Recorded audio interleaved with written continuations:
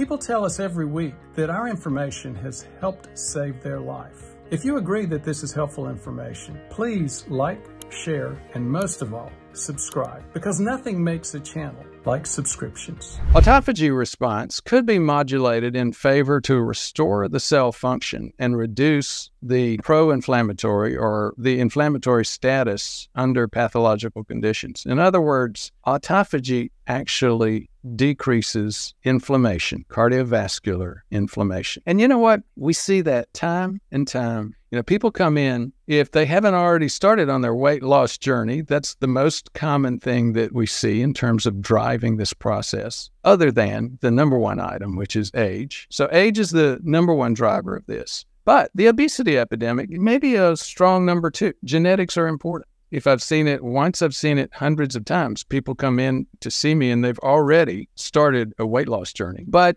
here's what happened. One of the things we do in the very beginning is we measure cardiovascular inflammation. If you're not familiar with that, we've done several series on cardiovascular inflammation panel. There's different labs that we use to measure that. HSCRP, high sensitivity C reactive protein, made by the liver. It's the most common biological false positive of the panel. Myeloperoxidase, MPO, that is one of the actual actors in this play. Myeloperoxidase is in the lysosomes of polymorphonuclear sites, one of the immune cells, and it's being released as a part of this inflammatory process. There's another enzyme that we look at too, LPPLA2 plaque 2. That is part of the lysosomes of the macrocytes. And again, being released as a part of the process that we've just been discussing over the past few slides. You get this process going on of your immune cells, the macrocytes and the, uh, the polymorphs, two different groups of immune cells, finding too much plaque in the external cardiovascular tree,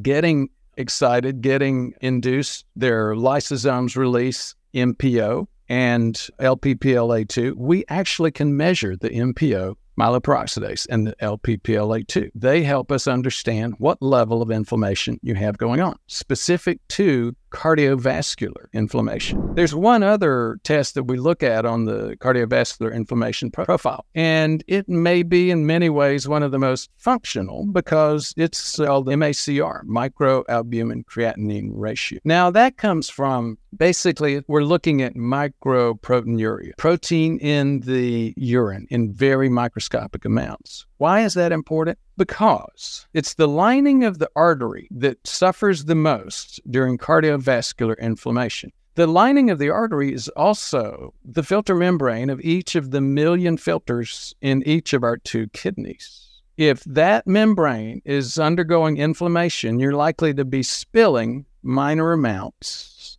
of protein through your kidney. We can pick that up we can understand that, detect that, measure that, and get a good measurement of cardiovascular inflammation. So again, trying to take a few minutes. Pardon me if there's a few bunny holes, but what I'm trying to do is connect the dots. If you go back a couple of slides where we're talking about lysosomes, well, you know, the lysosomes are releasing MPO and LPPLA2. And you talk about reverse cholesterol transport. Again, we see it all day, every day, where people are losing weight for one reason or another. The most common mechanisms that I have for people coming in that have already lost 30, 40, 150 pounds. Number one, they say, well, first I dropped my carbs.